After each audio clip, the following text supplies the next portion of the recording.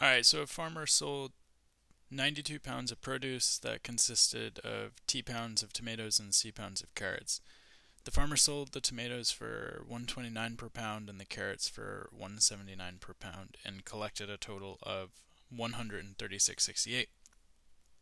Which of the following systems of equations can be used to find the number of pounds of tomatoes that were sold?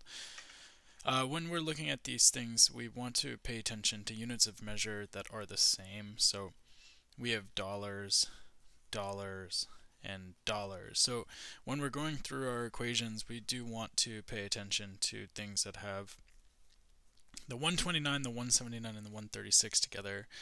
Um, now we also want to make sure that we get the idea that um, the 129 uh, is for the tomatoes, and so that's going to be the T. So the 129 has to be with the T.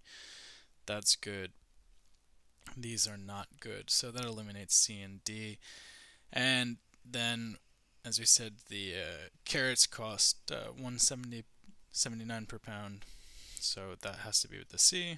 So again, A and B are good, but as we had mentioned, we want an equation with the 129, the 179, and the 136, and so A does not give us that. That gives us B.